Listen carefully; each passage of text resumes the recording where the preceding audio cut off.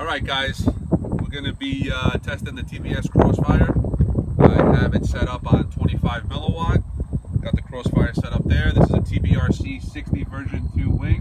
I also have the uh, Vector OSD on there. Uh, TBS just released an update so we can uh, get RSSI on the OSD and that's going through channel 8 on the Diversity uh, Crossfire receiver uh, via PWM.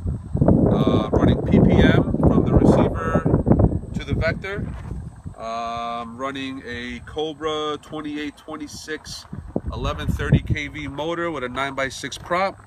I've got two AVI 4S 3300 milliamp lipos. And this is signed by yours truly, Trappy. We also got Yupski, who built the wing. Anthony Wanton, he's the maker of TBRC.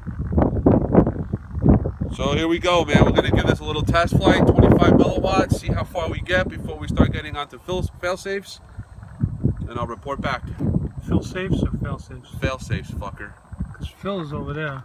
Fail safe. That's fail safe. That's Phil safe. This is gonna be a fail safe test. Nice. Peace. All right.